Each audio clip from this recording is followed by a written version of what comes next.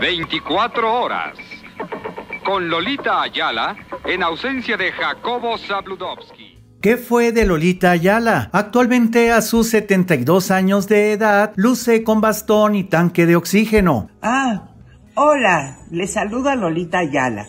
Agradezco sus mensajes de apoyo y cariño. Dolores Ayala Nieto, mejor conocida como Lolita Ayala, es una emblemática periodista y presentadora mexicana, a quien se le denominó el rostro femenino en la televisión mexicana. Lolita Ayala nació el 21 de mayo de 1951 en la Ciudad de México. Realizó estudios universitarios en los Estados Unidos y periodismo en Roma, Italia. Se inició en el teleperiódico Notimex que se transmitía por el canal 8 de televisión. Posteriormente apareció en los noticieros En Punto y En Contacto Directo, así como en los programas Adivine mi chamba y Cada Noche. Desde 1974 trabajó en 24 horas, noticiero del cual llegó a ser directora general. En 1987, Lolita asumió la conducción y dirección del programa Muchas Noticias, espacio que posteriormente cambiaría su nombre a El Noticiero Televisa con Lolita Ayala, el cual duraría 29 años al aire. Tras su salida de Televisa, continuó con sus labores altruistas como presidenta y fundadora de Solo por Ayudar. Acostumbrados a hablar de lo que hacen los demás,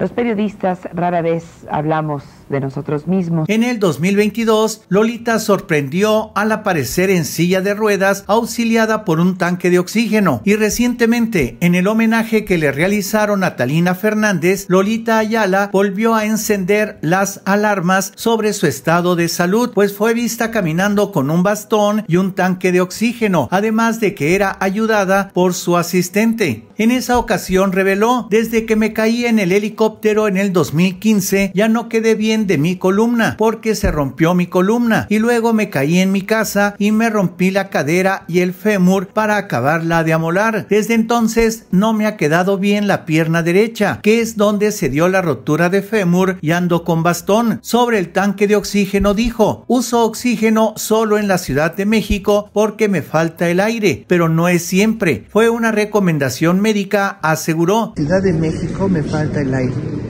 pero no, no siempre, por ejemplo no lo trae. Para terminar, Lolita ya la dijo que estaba consciente de la fragilidad de su generación, sobre todo después del deceso de compañeros como Nino Canún, Ricardo Rocha y la misma Talina Fernández. Todos estamos en la lista, finalizó diciendo.